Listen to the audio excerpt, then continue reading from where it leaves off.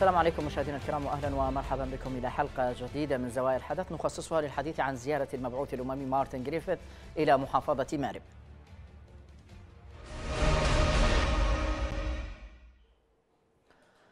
قال المبعوث الأممي إلى اليمن مارتن جريفيث إن الحرب في البلاد يجب أن تنتهي فورا وأنه لا يمكن السماح بإطالتها، جاء ذلك خلال زيارته إلى محافظة مارب والتي التقى فيها محافظ المحافظة سلطان العرادة.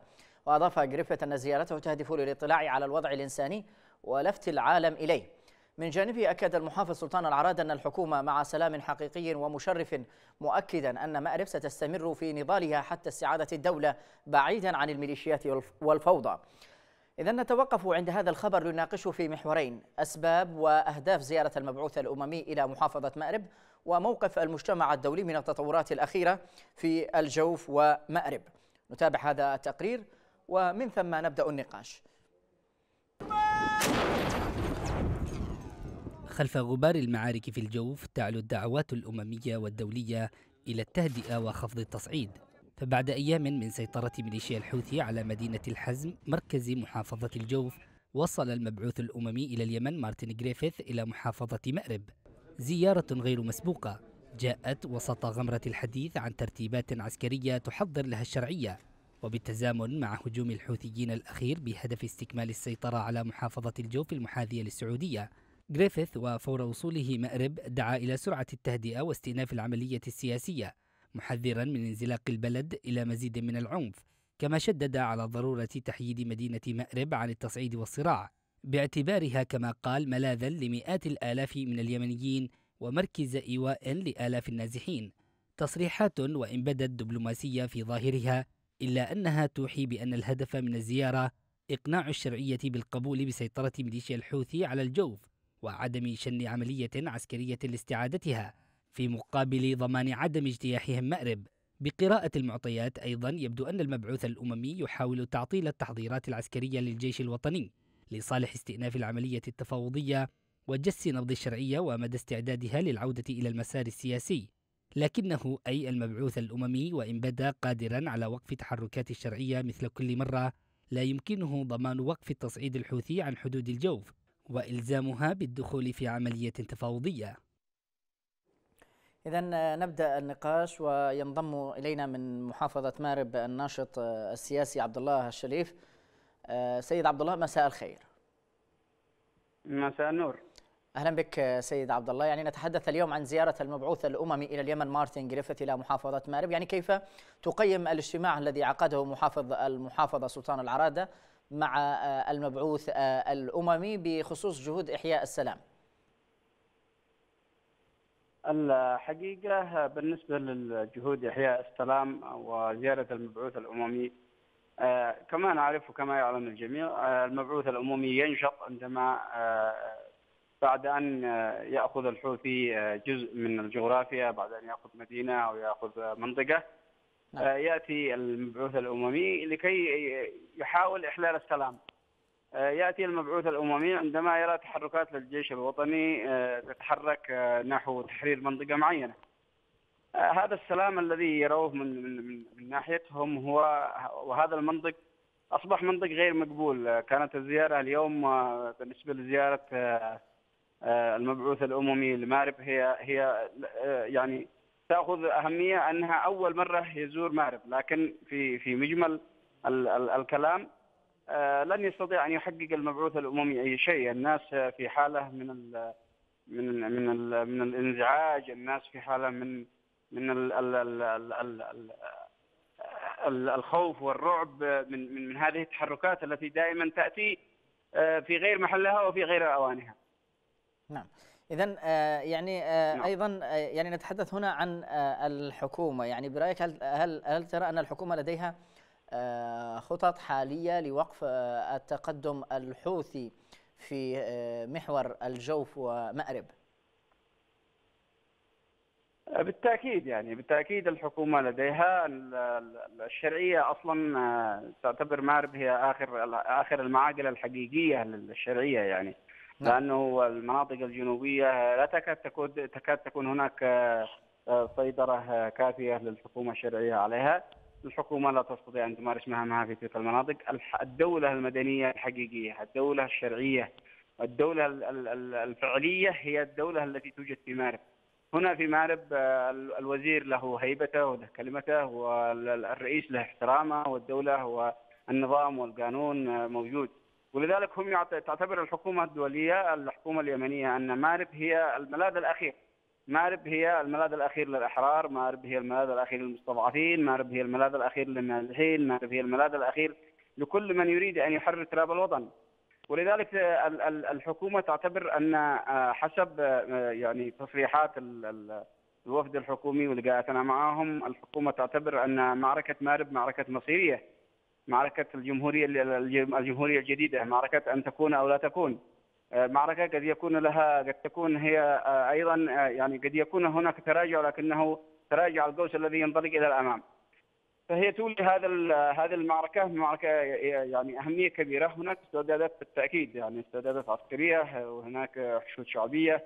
هناك حالة من من الإجماع الوطني بين كافة الأحزاب وبين كافة الفصائل وبين كافة المكونات الشرعية حتى التي يعني كان بينها بعض الخلافات التقى الفرقاء على صعيد واحد وعلى طاولة واحدة وعلى هدف واحد.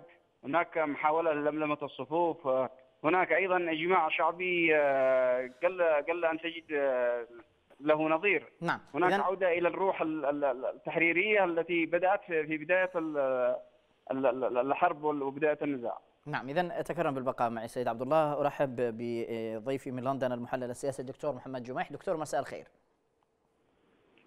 أهلا وسهلا من باريس.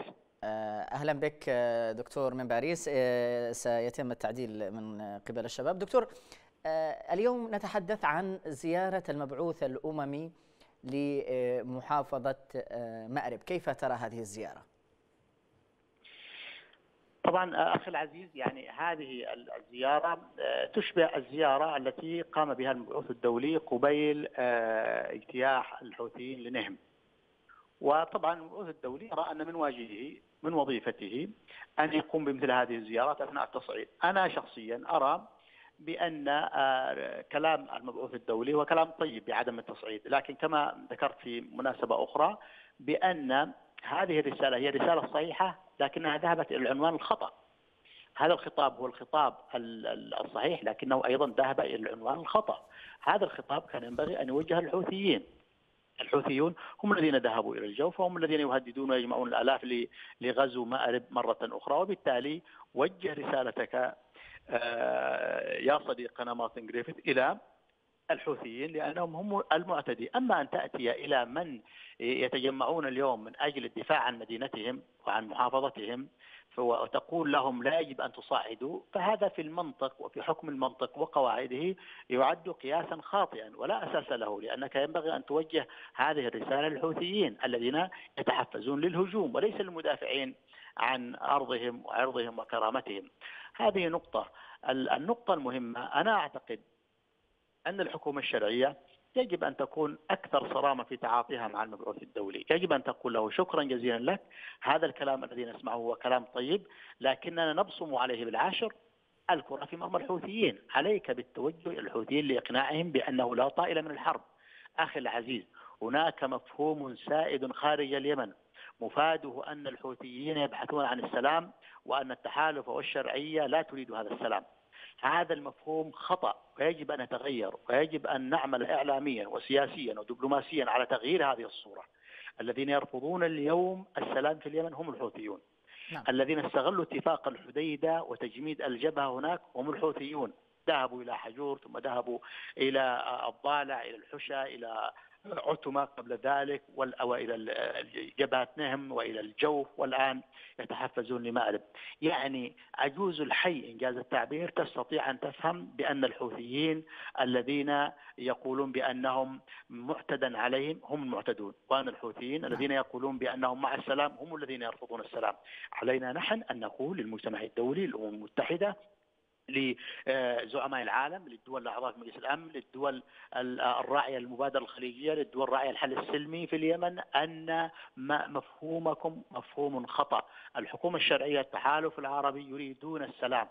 الذي لا يريد السلام هم الحوثيون. نعم لكن يا دكتور يعني ألا يعد تحركات المبعوث الأممي الأخيرة؟ تكرما ألا يعد نقطة هي الحوثيون في هذه المسألة. أخي العزيز من ضمن الأخطاء التي نقع فيها ويقع فيها الآخرون أنهم ينظرون للحوثيين على أساس أنهم جماعة سياسية أو جماعة دينية. هذه الجماعة الدينية في صلب معتقدها الهادوي أن الإمام لا يعد إماما مكتمل الشروط إلا إذا خرج على الناس شاهرا سيفه ما معنى ذلك؟ معنى ذلك إلغاء لصندوق الانتخابات. معنى ذلك إلغاء للتداول السلمي للسلطة. معنى ذلك أن الحوثيين يرون أن السلاح هو السبيل الوحيد للوصول للسلطه وبالتالي لا يمكن أن يسالموا، لا يمكن أن يضعوا السلاح، هذه عقيدة بالنسبة لهم، نعم. ونحن عندما نتعاطى معهم على أساس أنهم حركة سياسية، هذا نوع من الخلل. لكن يا دكتور ألا يعد أن هناك استغلال استغلال من قبل المبعوث الأممي؟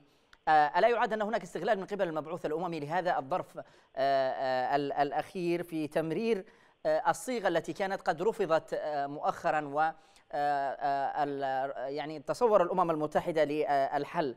فبالتالي يعني آه، قد يكون هو مسعى من المبعوث الاممي للضغط على الشرعية كون آه، أيضا آه، الحوثي يعني يسعى للتقدم باتجاه محافظة مأرب. أخي العزيز حتى لو افترضنا أن المبعوث الدولي ضغط على الحكومة الشرعية وذهبت إلى اتفاق من دون تنفيذ اتفاق ستوكهولم الذي لم ينفذ مع أن الحكومة تشترط للذهاب إلى اتفاق جديد أن ينفذ الاتفاق السابق في ستوكهولم. حتى لو افترضنا أن الحكومة ذهبت مع الحوثيين بضغط للتوقيع على اتفاق سلام شامل ونهائي. أنا وأنت والمشاهد البسيط يعرف بأن الحوثيين لن يلتزموا بهذا الاتفاق. لماذا؟ لأنهم لم يلتزموا باتفاق ستوكهولم ولم يلتزموا بأكثر من 100 اتفاق منذ 2004 حتى هذه اللحظة. الإشكال ليس هنا. الإشكال في أن الجماعة ترى بأن وسيلتها للحكم في اليمن ليس المبعوث الدولي ولا صندوق الانتخابات ولا السلم وإنما آه، طريقان. الطريق الأول هو السلاح لأنه هو الذي سيضمن الوصول للسلطة والطريق الثاني هو الدين والدعاية الدينية التي تحصر الحكم فيهم والتي تجعل الإمام الخارج على الناس بحد سيفه هو الذي يستحق الولاية وهو الذي يستحق الحكم. هذه المسألة بكل بساطة. أما أن نغوص في تنظيرات سياسية وتعقيدات ليس لها أساس المسألة بسيطة. الحوثي يقول إما نحكمكم أو أعدمكم. ولكم نعم. الخيار. نحن واليمنيون طبعا لا يمكن أن يقبلوا بهذه المعادلة.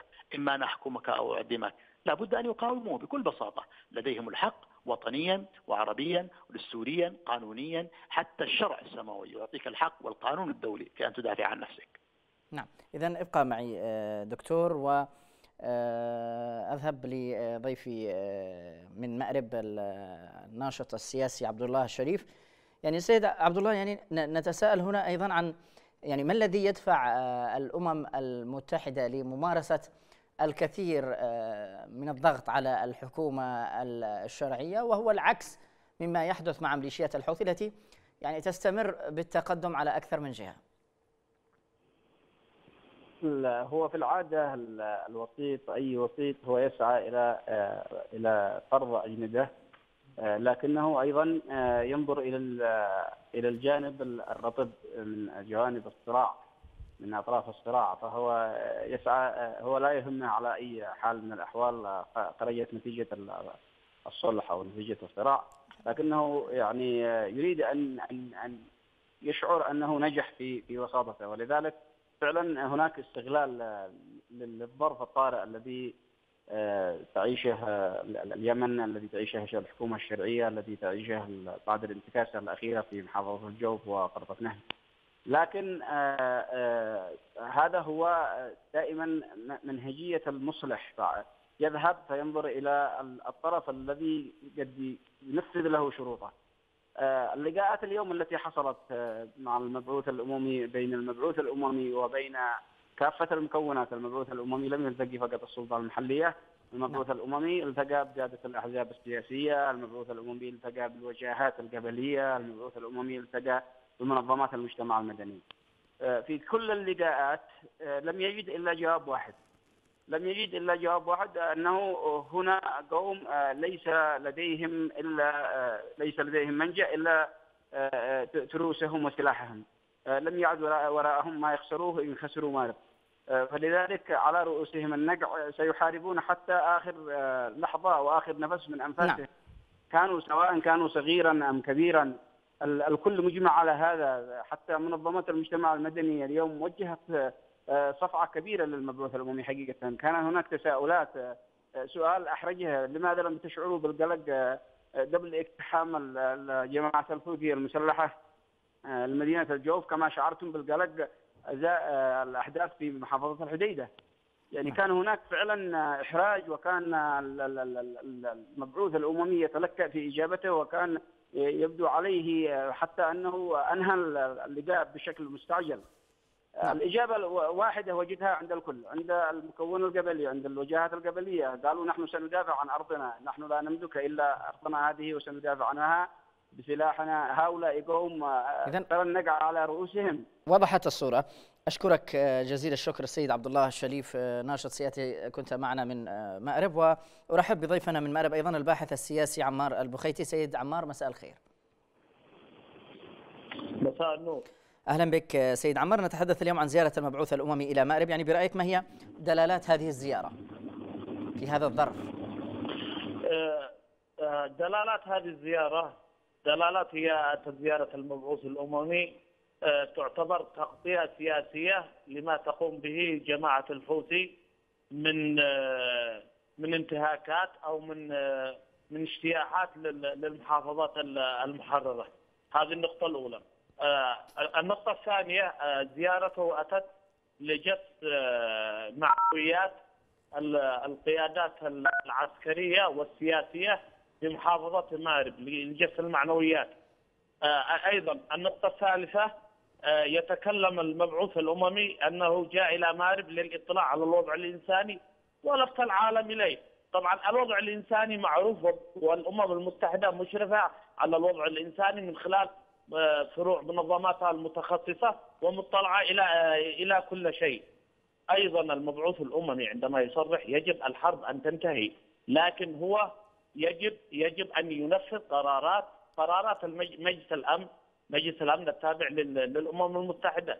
هو آه، عبارة عن يعني يقوم بمراوغة لتقدم جماعة الحوثي للأسف الشديد. لديه قرارات دولية يجب أن يتم تنفيذها. نعم. فهو للأسف يعني آه، يعني بالدرجة بدلالاته وتغطيه سياسيه آه، سياسية لما تقوم به جماعة الحوثي من عمل عسكري. اذا آه، وضحت الفكرة. أبقى معي دكتور عمار وأذهب لضيفي الدكتور محمد جميح، دكتور دكتور محمد يعني نتساءل هنا يعني ما الذي يمكن أن تقدمه زيارة جريفيث خصوصا بأن هناك يعني تشاؤم كبير من آه، الجميع من هذه آه، الزيارة. كون أن الأمم المتحدة عندما تركز آه، على مكان محدد أو يعني تكثر زيارات المبعوث الأممي لهذا المكان يعني المنطقة هذه لا تجد الخير كما يقال. يعني أنت تريد أن تقول أن جريفيث نذير شؤم إذا على كل أنا لا أعتقد أن الشؤم في وجه جريفيث أو البركة أو التفاؤل في وجهه، جريفيث هو مبعوث دولي ويفترض فيه الحياد. الذي يعلق فشله أو خطأه على المبعوث الدولي هو الفاشل. وهو الذي يرتكب الخطأ. أخي العزيز يعني حتى لا نكثر من يعني من انتقاد المبعوث الدولي ونحن ننتقده وهذا حقنا لكن كي لا تغيب عن الصورة. المجتمع نعم. الدولي للتذكير أعطى الحكومة اليمنية وأعطى التحالف العربي سنوات طويلة من أجل الحسم. ما الذي جرى؟ لم يتم الحسم. المجتمع الدولي أعطى الحكومة اليمنية وأعطى التحالف العربي الغطاء الشرعي والتشريعي وأعطاهم القانون الدولي بأن أصدر قرارات من مجلس الأمن الدولي تحت الفصل السابع تجيز استخدام القوة لطرد الحوثيين من من العاصمة صنعاء ومن كافة المدن والاستعادة الشرعية كاملة على كامل التراب اليمني. ماذا تريد أكثر من ذلك من المجتمع الدولي؟ لم يحصل شيء. ذهبنا للأسف الشديد للاقتتال الداخلي. ذهبنا لفتح ثغرات جانبية في الجدار. ذهبنا لتبديل الطاقات هنا وهناك لا نحن عندما نريد أن ننتقد المبعوث الدولي وهذا حقنا علينا أيضا أن ننتقد أنفسنا داخليا. ماذا فعلنا؟ يعني بمعنى أنك اليوم لا ينبغي أن نقول مارتن جريفيث زار مأرب إذا مأرب ستسقط. أولا مأرب آه، لن تسقط وأهلها دافعوا عنها قبل أن يتدخل التحالف العربي وصمدوا آه، قبل دخول التحالف بقرابة نصف عام. ولم يدخل الحوثي ولديه قوة جيشين جيش الجنوب السابق والشمال السابق وجيش دولة الوحدة وما هربوه من الإيرانيين لم يستطيعوا. ولكن الذي يقلقنا ليس أنهم سيدخلون مأرب أو أنهم سيلتهمون اليمن كلها، الذي يقلقنا هو مزيد من الدماء التي ستسفك، مزيد من استدامة هذه الحرب التي يريد لها الحوثي ألا تنتهي، إما أن يحارب أو أن يحكم. آه، أما مسألة الدفاع عن مأرب أو الدفاع عن أي آه، جزء من تراب البلاد فهذا لا ينبغي أن يؤخذ فيه إذن من الأمم المتحدة أو من مارتن جريفيث. هذا حق دستوري وواجب دستوري على الحكومة اليمنية وهو حق اليمنيين في الدفاع عن أرضهم لسبب بسيط هذه الجماعة ليست شرعية لا يعترف بها العالم وليس لها مشروعية داخلية جماعة انقلابية بكل بساطة من نعم. حق أي يمني أن يقاومها في مناطقها أو خارج مناطقها نعم. أو خارج مناطقها وإذا أرادت الحكومة الشرعية أن تدافع عن مأرب أن تستعيد الجو فالميدان مفتوح أمامها لا يمكن للأمم المتحدة أن تعارض دخول أو استعارة الجوف أو حتى استعارة العاصمة إذا كانت هناك عزيمة وإصرار وإرادة سياسية وعسكرية. على استعاده الدولة اليمنية والأرض اليمنية التي احتلتها الميليشيات. نعم اذا وضحت الصورة. أشكرك جزيل الشكر دكتور محمد جميح. آه، كنت معنا من العاصمة الفرنسية باريس. شكرا جزيلا لك. وأرحب آه، بضيفتنا من العاصمة البحرينية المنامة ميساء آه، شجاع الدين. سيدة ميساء مساء الخير.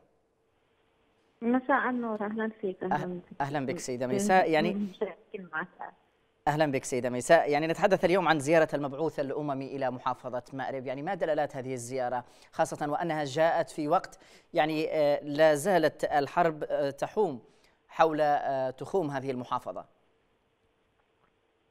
أتصور أنها محاولة طمأنة دولية أنه الحوثيين لن يتقدموا للمأرب ربما أخذ تطمينات من الحوثيين بهذا الخصوص.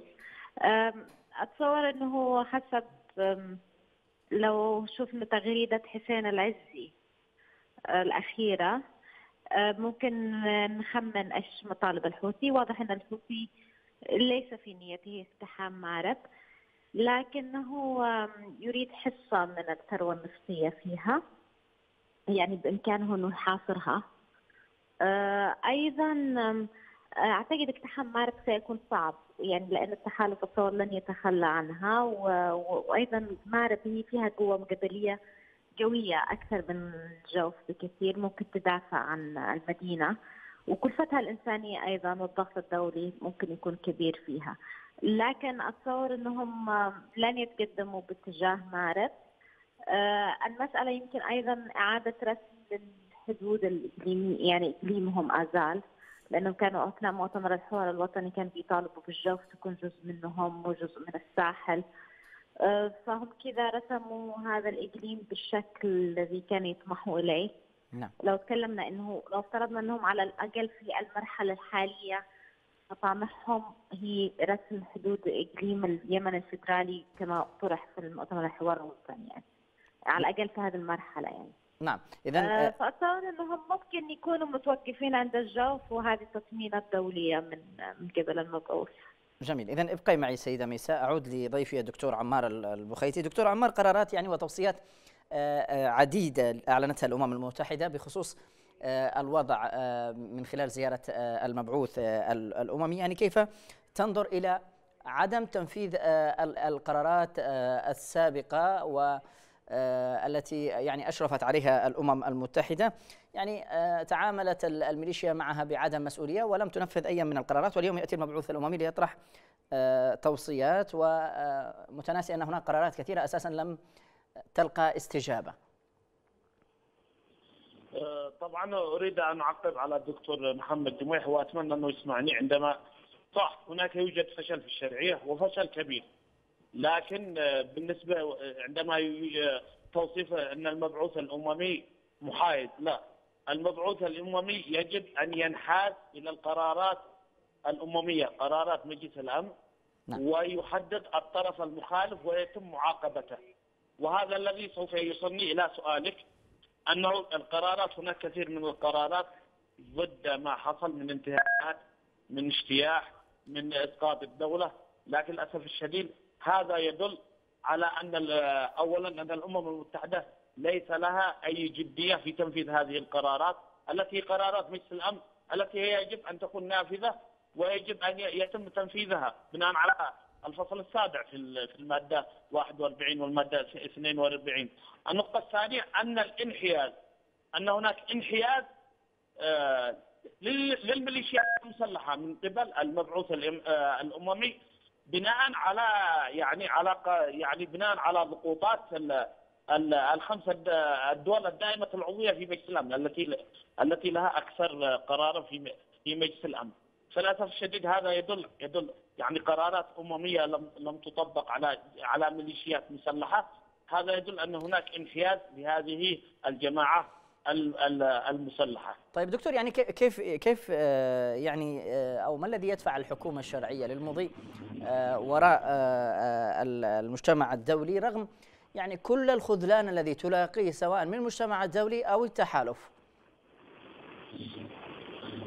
اولا الحكومة الشرعية للأسف يعني هذه من من أحد أسباب فشلها الحكومة الشرعية للأسف في في خطابها الخارجي أو خطابها الدبلوماسي. ضعيف جدا.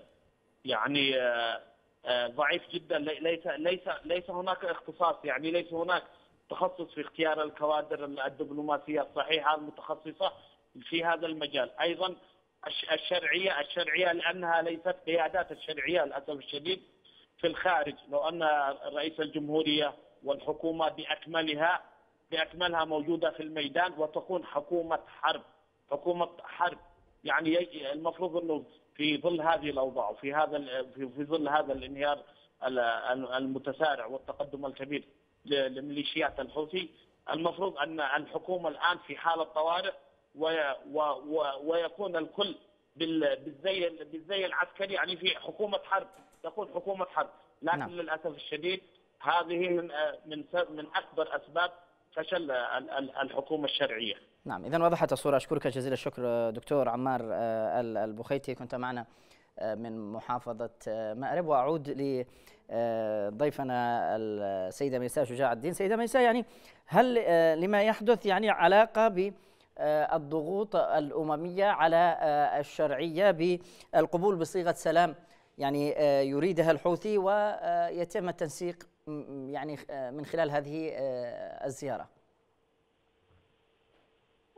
ما أعتقدش إن التقدم العسكري الذي حصل في نهم الجوف له لها علاقة بأي ضغوط دولية على الحكومة. في فشل في فشل سياسي وعسكري. أه، والمسألة كلها أنهم بيحاولوا يقدموا بعض يعني إرسال إشارات أو رسائل للمحافظ المعرض وللناس المعرض إنه إحنا محافظين على هذه المدينة تظل مدينة مستقره وملاذ للنازحين والناس الهاربين من بطش الحوثي. فبالتالي هم ملتزمين. هي مسألة إنه بيقدم التزام دولي. ويمكن أخذ تصميمات من الحوثي أو شيء من هذا القبيل ومن التحالف.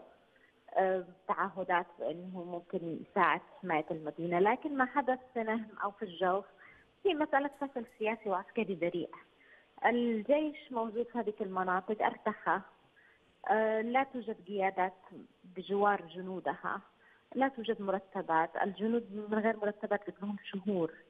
فالمسألة يعني في فشل غير عادي في إدارة المعركة.